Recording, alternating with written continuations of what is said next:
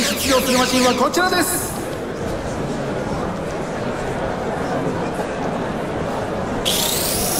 シグナルに注目。5大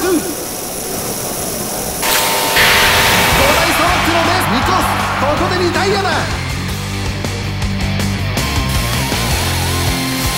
まずトップに出たのは4コースマグナム。しかし後ろのマシンも負けていない。2周目に突入。